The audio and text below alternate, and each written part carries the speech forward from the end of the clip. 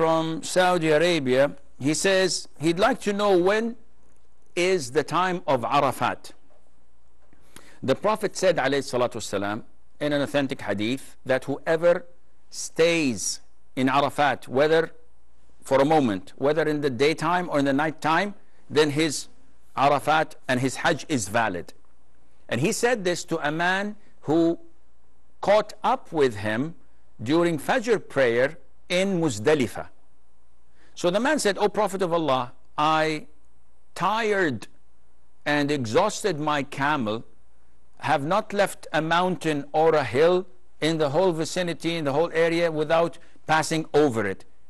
So I don't know where Arafah is, but definitely I've covered the whole area. So the Prophet said, whoever, والسلام, ever uh, stays in Arafah for a moment, whether in the daytime or the night time, then his Hajj is valid. From this, along with the description of the Hajj of the Prophet ﷺ, scholars say that whoever stays in the daytime, and this extends to just before the Adhan of Fajr of the day of Eid, then staying in Arafat is valid. However, if he stays in the daytime, it is mandatory upon him to wait until the sun sets.